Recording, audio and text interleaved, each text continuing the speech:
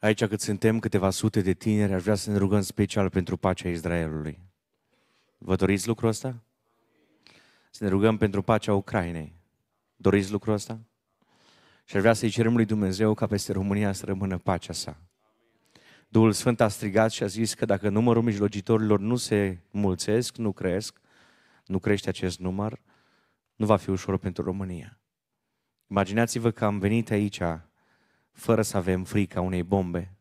Am ajuns aici cu siguranță. Noi nu ne temem dacă trebuie să mergem în România în anumite evangelizări, chiar la distanțe mari și fratele Bogdan alergă foarte mult.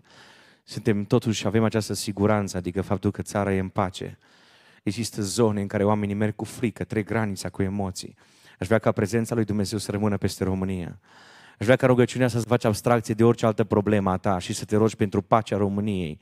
Să ne rugăm de azi încolo măcar un minut pe zi pentru pacea României, ca țara aceasta să rămână întreagă, ca tinerii acestei țări să nu fie duși în război, să nu fie încarcerați, să nu fie duși în armate, să fie protecția Domnului peste țara aceasta.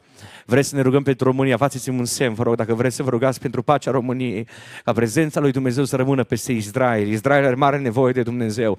Ne rugăm pentru locuitorii din fâșia Gaza, ne rugăm și pentru palestinieni, au suflete să-i mântuiască Domnul, să-i libereze sub povara păcatelor, indiferent din ce grupare fac parte, Domnul să-i atingă.